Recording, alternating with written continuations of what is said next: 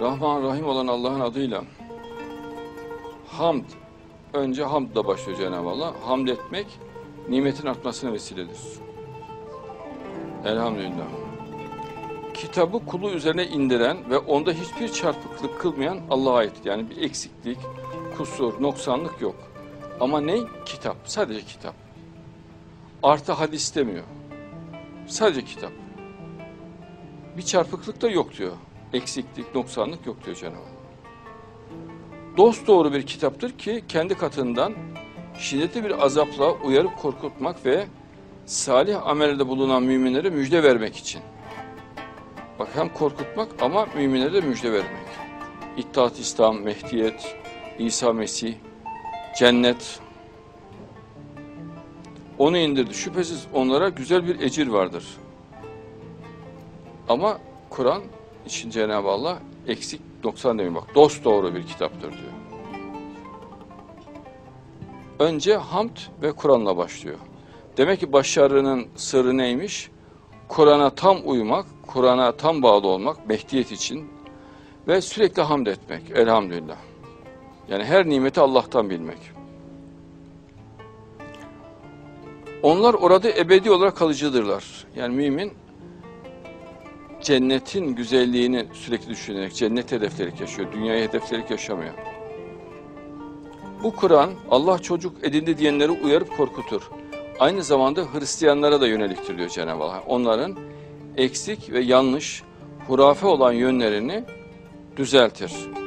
Mesela Allah çocuk edindi. Bu yanlış, bunu düzeltiyor. Ama İsa Mesih inecek diyor İncil, Kur'an bunu düzeltmiyor.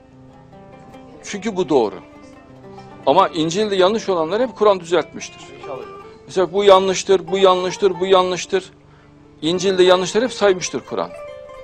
Tevrat'taki yanlışları da sayıyor Cenab-ı Allah. Ama doğru olanı ellemez. Bu konuda kendilerinin ve atalarının hiçbir bilgisi yoktur diyor Cenab-ı Allah. Yalan söylüyorlar diyor.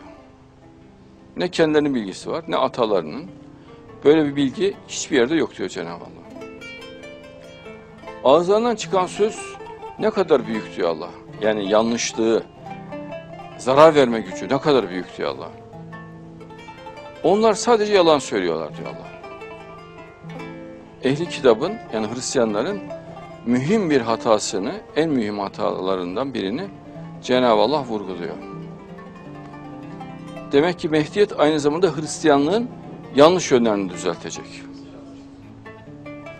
Mehdiyet'in kısmını da anlatıyor ama İsa Mesih'in yapacağı görevi de Allah anlatıyor.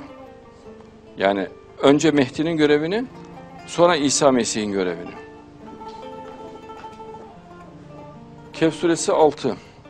Şimdi onlar bu söze Kur'an'a inanmayacak olurlarsa, yobazlar inanıyor mu? Dolaylı yoldan inanmıyorlar. Yetersiz görüyorlar. Ehli kitaptan da inanmayanlar var. Böyle bir durumda onların peşi sıra esef ederek kendini kahredeceksin öyle mi? Onların kaderinde iman yoksa zaten iman etmez. Kaderinde varsa iman eder. Tebliğcinin kabul etmeme durumunda karşıdaki şahsın e, reddi durumunda üzülmemesini söylüyor Allah. Rahatsız olmamasını, sabır olmasını söylüyor. Birçok tebliğci tebliğ ettiğinde netice alamadığında içine kapanıyor. Ben çok gördüm. Üzülüyor. Hakikaten çok sinirleniyor. Tebliğ yapmaktan vazgeçiyor. Halbuki onların kaderi öyle. E, kaderi değiştiremez. O onun bağımsız bir gücü olduğunu zannediyor. Halbuki bağımsız gücü yok. Kaderinde olsa hemen iman eder o zaten. Hidayet veremezsin. Allah dilediğine hidayet verir diyor yani. Maşallah. İnsan hidayet veremiyor, Allah hidayet veriyor. Tabii ki.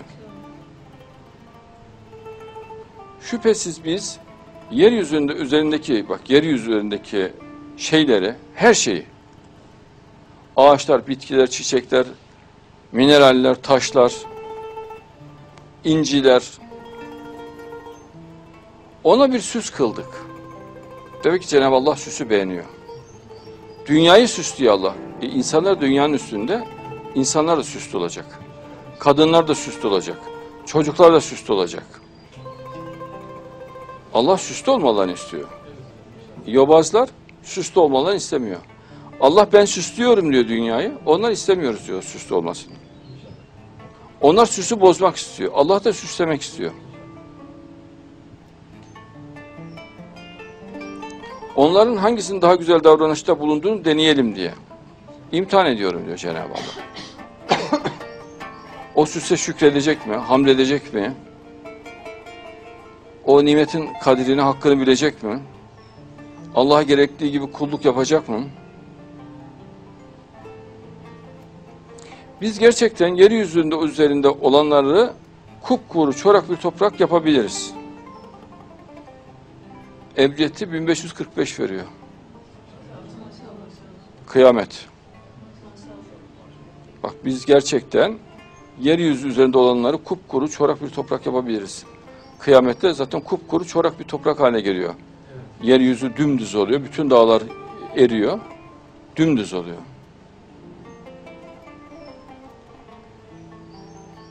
Kıyametten bahsediyor Cenab-ı Allah. Ve kıyametten hemen sonra kıyamet alameti olan Mehdiyete geçiyor. Sen yoksa Kehf ve Rahim ehlini bizim şaşıracak ayetlerimizden mi sandın? İki küçük cemaat. Biri Kehf, biri Rakim.